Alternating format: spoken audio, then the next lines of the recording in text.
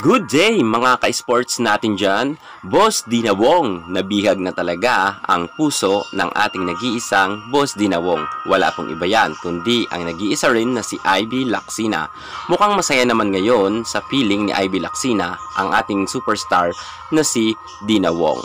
Alam naman natin na kine-question ang kanilang pagmamahalan ng mga kanilang kritiko. Pero ipilit na ipinaglalaban talaga ni Ivy Laksina at ni Dina Wong ang kanilang pagmamahalan. Kita naman natin na mukhang nag enjoy naman ngayon ang dalawa sa kanilang company. Well, ating pasukin ngayon ang buhay pag-ibig ni Ivy Laksina at ng ating nag-iisang boss Dinawong. Kaya kung bago ka sa aking YouTube channel, huwag kalimutan i-likes, i-share ang ating video at mag-subscribe at i-click ang ating notification bell para hindi ka mahuli sa lahat ng kaganapan pagdating sa volleyball. Susunod na! Drop it.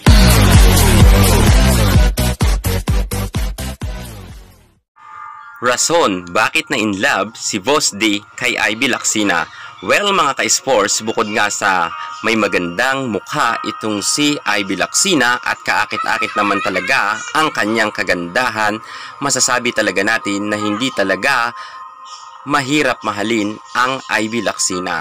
At kahit nga pasikat na talaga si Ivy Laksina sa kanyang career, pagdating sa volleyball ay hindi lumalaki ang kanyang ulo nananatili pa rin si Ivy Laksina na mababa ang kanyang pagtingin sa kanyang sarili at hindi siya nagmamataas.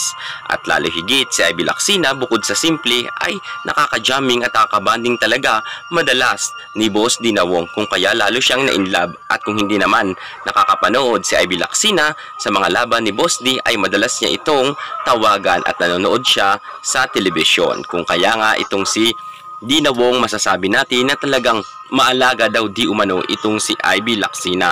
Kaya nga sa mga buwabatiko sa kanilang pagmamahalan na sinasabi na hindi raw magtatagal ang pagmamahalan ni Ivy Laksina at ni Boss Dinawong ay hindi ito mangyayari dahil mukhang nakuha na talaga or nakita na ng ating nag-iisang Boss D ang kanyang true love.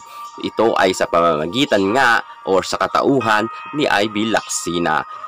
At kahit nga binabash itong si Ivy Laksina at si Dina Wong ay dead malamang silang dalawa sa mga basher dahil sa mga nagsasabing hindi sila magtatagal tanging si Boss D lamang at si Ivy Laksina ang nakakaalam nito. Pero kita ko naman na mukhang masaya naman itong si Ivy Laksina at very sweet siya kay Boss D Nawong pero maraming nagsasabi na mukhang hindi daw ganun kasaya itong si Boss D pero hindi natin yan masasabi dahil hindi naman tayo si D Nawong ang nakakaramdam lang naman ito ay ang ating nag-iisang Boss D kung talagang tunay ang kanyang pagmamahal kay Ivy Laksina. Pero para sa akin kung saan masaya ang ating nag-iisang Boss D Nawong sana ay maging masaya na rin tayo. Yan muna ang pinaka-latest natin sa mundo ng volleyball para hindi ka mahuli sa lahat ng kaganapan pagdating sa sports.